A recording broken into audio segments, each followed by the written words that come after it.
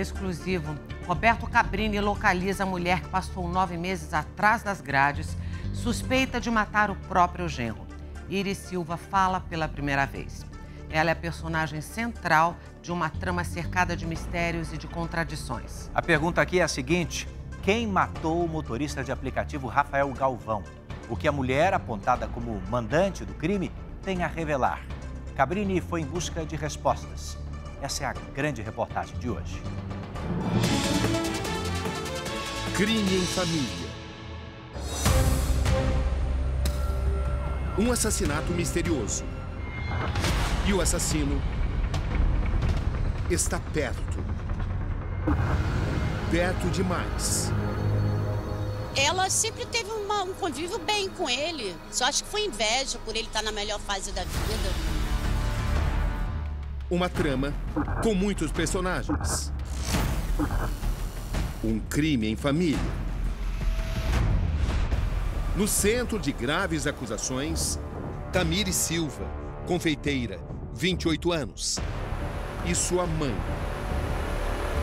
Uma sogra descrita como amorosa, agora envolvida em um assassinato.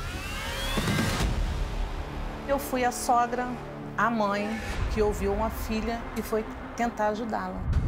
Era noite de sábado, 23 de abril. Esse é o posto de combustível que se tornou peça-chave para a compreensão dos acontecimentos. Às oito e meia da noite, o carro do motorista de aplicativo, Rafael Galvão, que seria assassinado naquela noite, para aqui, nesta bomba, a bomba de número 2. Dentro desse veículo sai uma mulher. Ela carrega uma garrafa PET como essa. Ela pede ajuda ao frentista, diz que precisa encher a garrafa de combustível para socorrer um motorista que tinha ficado sem gasolina aqui perto. Hoje, sabe-se que dentro desse carro estava o motorista de aplicativo Rafael Galvão. Desacordado ou morto, eis a questão. Tudo ficaria encoberto se não fosse a existência desta câmera de segurança. Essa aqui, através da imagem produzida por esta câmera, foi possível identificar esta mulher. Ninguém mais, ninguém menos do que Iris Silva, a sogra de Rafael Galvão, morto naquela noite. 49 anos, chefe de cozinha industrial, mulher comunicativa, intrigante. Ela passou os últimos nove meses na cadeia. Assim que ganha liberdade provisória, decide dar sua primeira entrevista. Senhora Iris Silva, boa noite. Boa noite. Por que a senhora decidiu concordar com essa entrevista? Porque as pessoas só sabem um lado da história e toda a história tem dois lados. Ouviram uma parte e a outra parte ficou calada durante nove meses. Quando o encontro enfim acontece, a tensão está no ar. Sua consciência está pesada? Consciência pesada, eu não diria isso. Mas assim, eu tô muito triste com o caminho que as coisas levaram. É possível dizer que se não fosse a senhora, Rafael Galvão estaria vivo nesse momento? Só tem certeza disso? Tem. Tudo se relaciona à morte dele. Senhora Iris, a senhora odiava seu genro? Não, bem pelo contrário. A gente sempre teve uma relação agradável e familiar. Mas por que todos os indícios apontam a senhora como mandante desse crime? Porque eu fui a única pessoa a ser pega na câmera de vigilância do posto de gasolina. O que motivou a morte de Rafael Galvão, 32 anos, motorista de aplicativo? E por que todos os indícios apontam para a senhora? Porque eu fui a sogra, a mãe, que ouviu uma filha e foi tentar ajudá-la. Foi só isso que eu fiz. O papel de mãe, total. Rafael e Tamires vivem juntos por 15 anos. Nas redes sociais, um casal apaixonado. Momentos a dois, como nesse jogo de futebol. Dentro de casa, um relacionamento supostamente conturbado. É o que descreve Tamires aos familiares. Seis dias antes do crime, Tamires troca mensagens com a cunhada. Envia uma foto do rosto machucado diz que foi agredida pelo marido, por Rafael. Na verdade, a gente só fica sabendo às vezes muita coisa depois, né?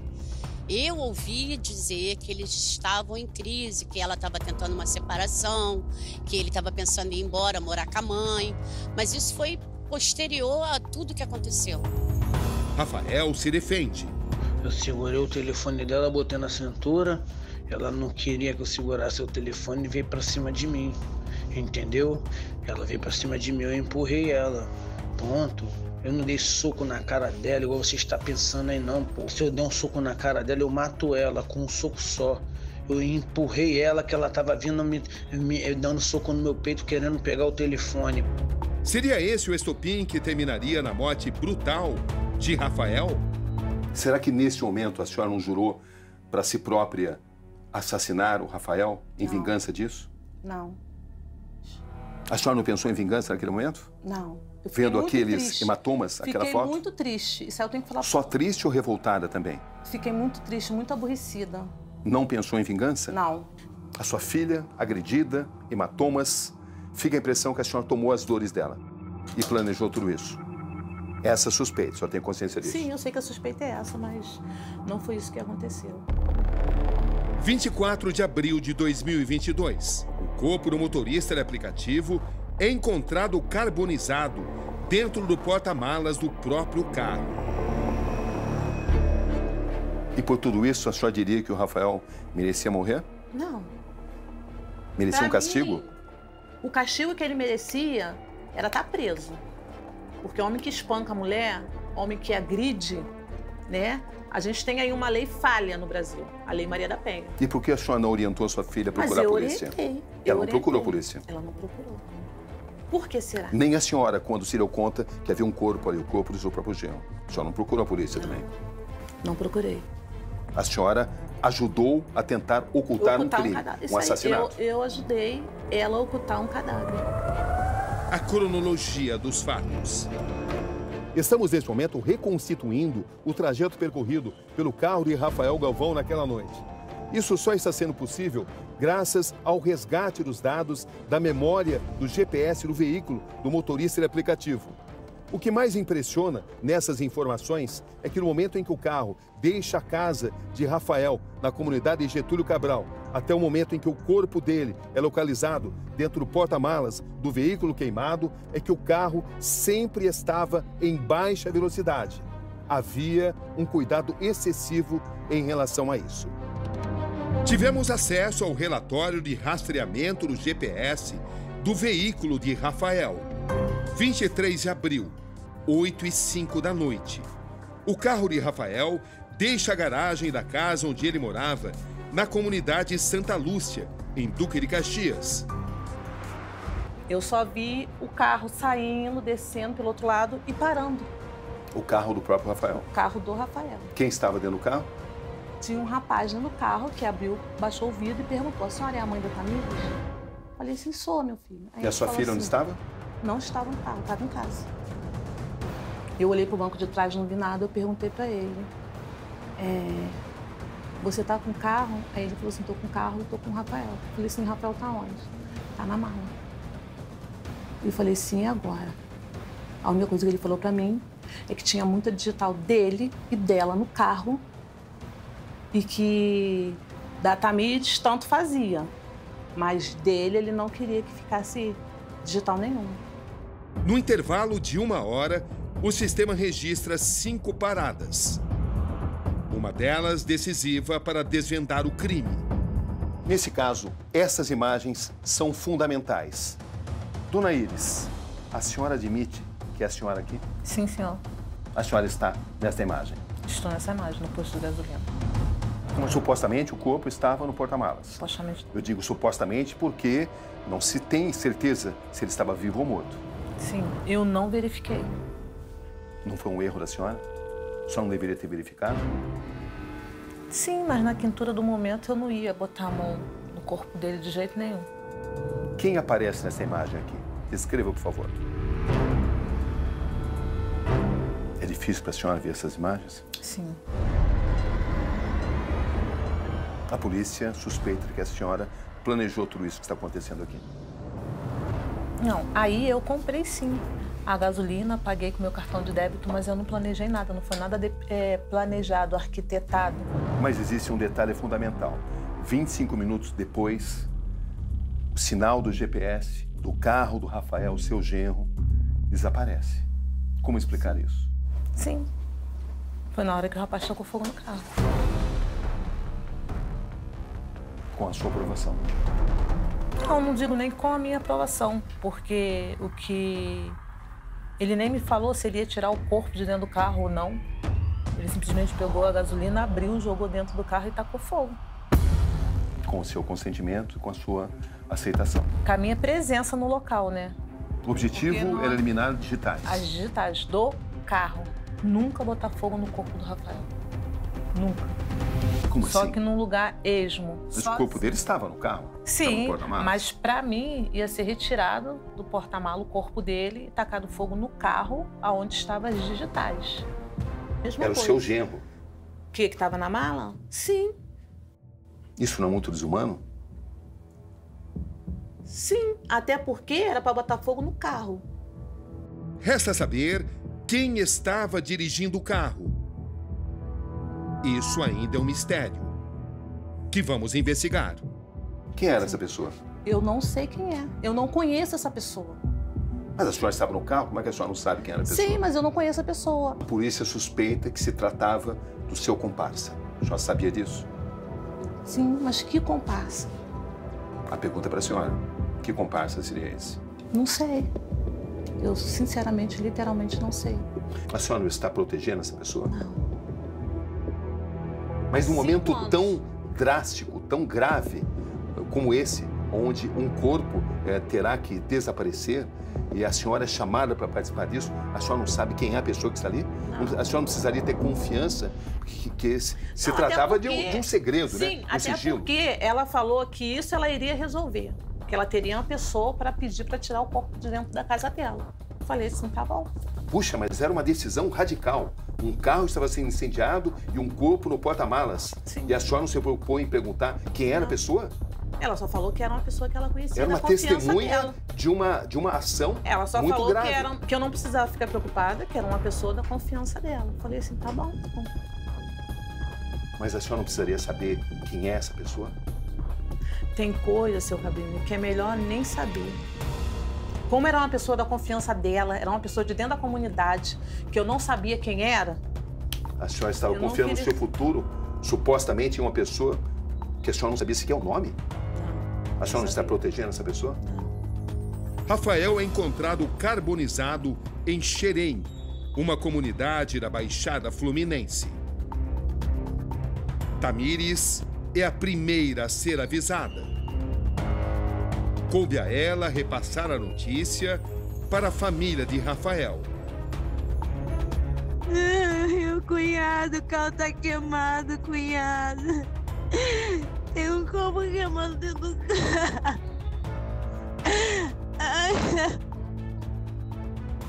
Em princípio, parecia a viúva extremamente abalada. Estaria mesmo Um dia depois, Tamires presta depoimento. Primeiro, ela tenta atribuir o crime a uma briga de bar. 4 de maio de 2022.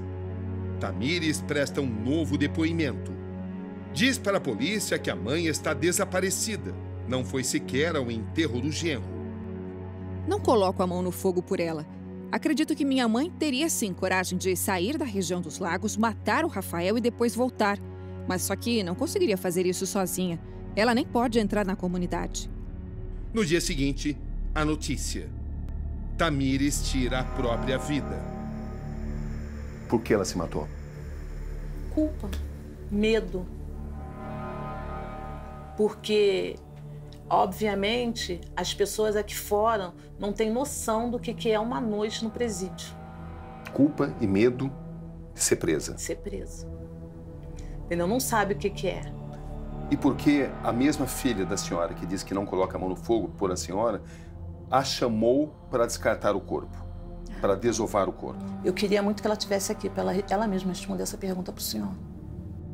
Mas, em determinado momento, ela confia o pior segredo da vida dela. Sim. Em E outro depois, momento, ela, não própria disse que não confia na senhora. Isso aí.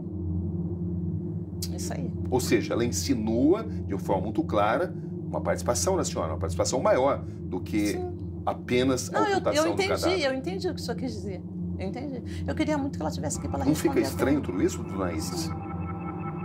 Sim, E mas como a senhora explica ela tudo não tá isso? aqui para responder, né? E não fica cômodo colocar toda a culpa na sua filha, que não pode mais se defender?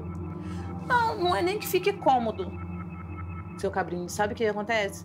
É mais difícil para mim aceitar que perdi uma filha, que não posso, enquanto não acabar esse processo, me aproximar dos meus netos. Tamires deixa três filhos. Morreu sem confessar qualquer participação no crime. Em cartas escritas para a família, pede perdão. Filhos, independente do que as pessoas digam para vocês, eu amo vocês para sempre e me perdoem por tudo. Ela escreve três cartas, nenhuma para a senhora. É, porque ela já sabia que eu ia ser presa, né? Porque se eu aparecer na foto, aparecer o mandado de prisão pra mim, pra ela, quem isso acha que ia ficar solta? Ela estava levantando suspeitas, sobre a Suspeitas. senhora. Sim, Para a própria polícia ela disse isso. sim, Ela não a eximiu de culpa. sim. Em nenhum momento. né? Mas também polícia, não, né? não É, me declarou Para a polícia, em nenhum momento, sua filha a eximiu de culpa. Mas Por ela quê? também nunca abriu a boca e falou. Foi minha mãe. Mas a senhora foi responsável por essa morte? Não, por essa morte não. A polícia fecha o cerco. O senhor conhece a Taine Machado? Conheço a comadre dela.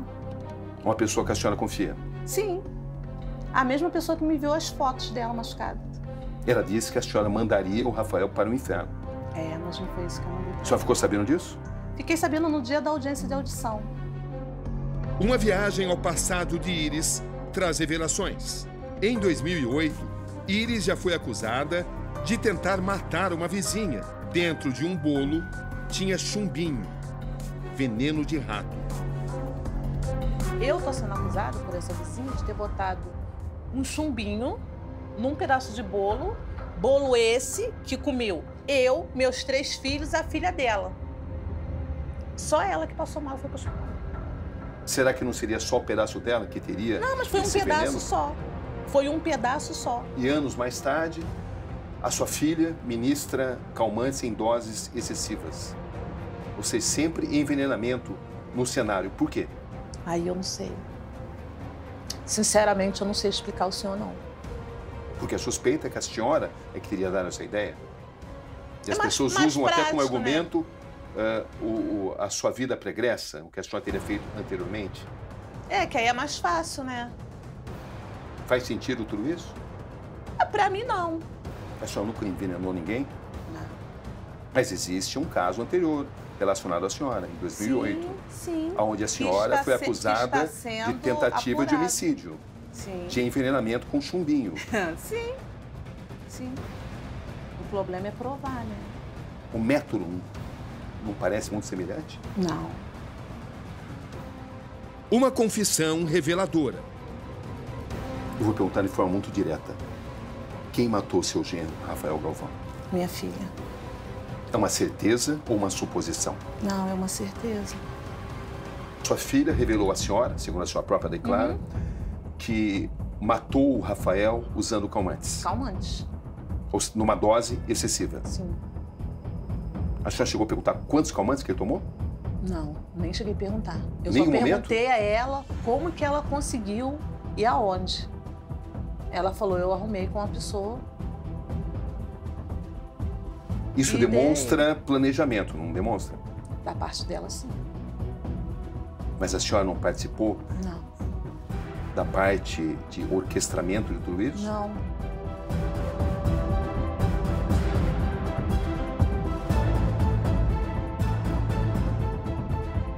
Até que ponto ela pode ser condenada, na sua visão? o corpo como estava no porta-malas do carro no momento do incêndio, e ela pode sim ser responsabilizada em relação a esse ponto. Mas é o máximo da participação dela nisso. A gente vai chegar até o final desse processo e provar a verdade do que aconteceu. Como é que o senhor vê essa acusação que pesa contra ela, de ser a mandante do assassinato do próprio genro?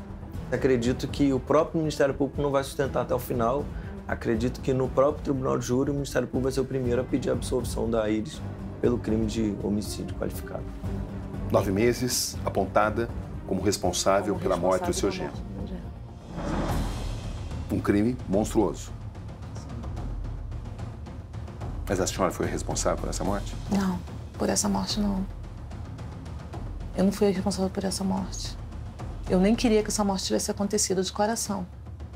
Dona Iris, chama muita atenção na nossa conversa que a senhora controla as suas emoções. A senhora dá a entender ser uma pessoa fria. A senhora é fria? Não. Só eu sei quantas noites nesses nove meses eu passei acordada chorando. A senhora não é uma pessoa fria e calculista? Não, Capaz de planejar um assassinato? só não. Como a senhora vê o seu futuro? Um futuro constante, né? Incerto, no momento.